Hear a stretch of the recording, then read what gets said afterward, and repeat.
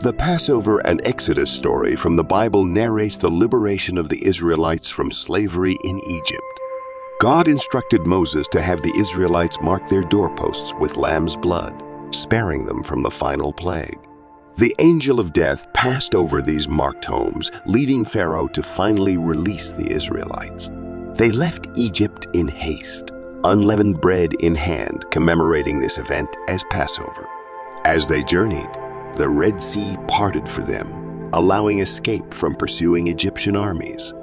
This narrative symbolizes deliverance, the beginning of the Israelites' journey to the Promised Land, and the foundation of the Passover tradition.